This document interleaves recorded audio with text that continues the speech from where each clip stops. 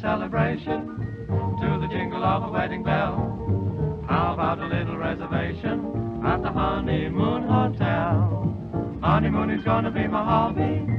Don't you think a honeymoon is swell? Wait until we walk into the lobby of the honeymoon hotel.